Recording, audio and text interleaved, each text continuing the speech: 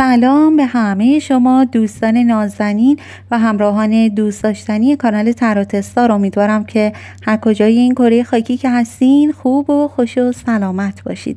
امروز تصمیم دارم از دکه اوراکل نیاکان و اوراکل فرشتگان کارت بکشم تا یه پیامی از طرف نیاکان و فرشتگانمون دریافت کنیم. دو تا گزینه اینجا آماده کردم. می‌تونید از بین این دو گزینه یعنی اعداد دو و سه یک گزینه رو انتخاب کنید و پیام فرشتگان نگهبان و نیاکان رو دریافت کنید. من برای هر دو گروه کارت می‌کشم بعد میریم ببینیم که چه پیغامی هست.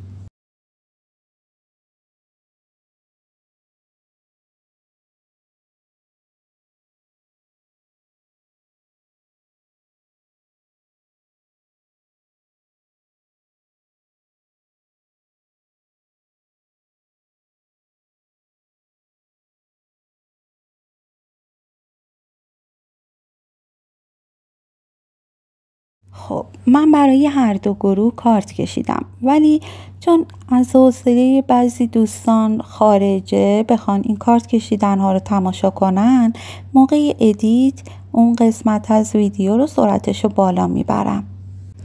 بریم ببینیم چه پیامی هست برای دوستانی که گزینه دو رو انتخاب کردند. نیاکان به شما پیام میدن که منتظر یک اتفاق بزرگ در زندگیت باش. این اتفاق یک تغییر و تحول عظیم و چشمگیر توی زندگیت داره. اما یادت باشه بعد از این تغییر و تحول اون خود واقعیت رو فراموش نکنی و تغییر نکنی. چون این کارت داره میگه قراره که رویاهای تو تبدیل به واقعیت بشه. اما اصل مطلب رو فرشتگان نگهبانتون دارن میگن. فرشتگان نگهبان دارن خبر میدن از دوش فراوانی نعمت که قراره در زندگیت جاری بشه. اما باید اول از همه نگرانی هایی که در رابطه با مسائل مالیت داری رو به فرشته ها بگی. چون اونها به تو دارن پیام میدن که ناراحتی های مالیت رو به ما بگو تا ما تو رو راهنمایی کنیم و نحوه ایجاد و پذیرش فراوانی نعمت رو بهت یاد بدیم. و همینطور که با هم کار می‌کنیم مشکلات هم از زندگیتون بیرون میرن. مشکلاتی که مربوط به مسائل مالیت هست.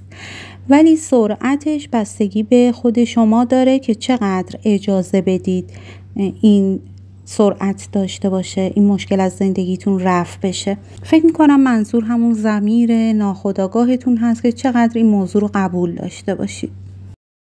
خب این پیغام خوبی بود برای گروه اول. بریم ببینیم برای گروه بعدی یعنی دوستانی که گزینه سه رو انتخاب کردن چه پیامی هست. من اول پیام نیاکان رو می‌خونم. نیاکان به شما پیام میدن برای به دست آوردن انرژی بهتر از موضعی که داری کوتاه بیای و عقب نشینی کنی.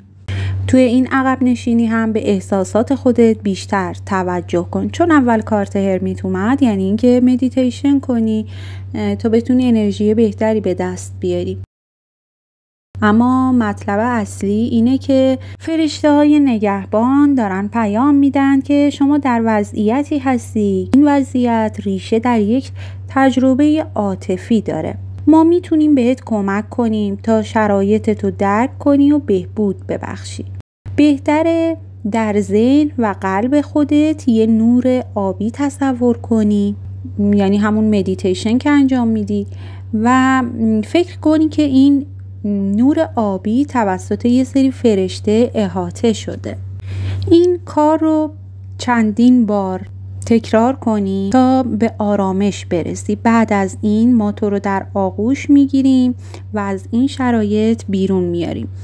فکر می‌کنم دوستایی که گزینه سه رو انتخاب کرده بودن توی روابط احساسیشون مشکلاتی دارن. حال امیدوارم که از این تاروتخانی خوشتون اومده باشه. اگر این ویدیو رو دوست داشتید مورد پسندتون بود لطف فرمایید لایک کنید کانال رو حمایت کنید و مثل همیشه دعا می‌کنم خدا بهترین ها رو سر راهتون قرار بده.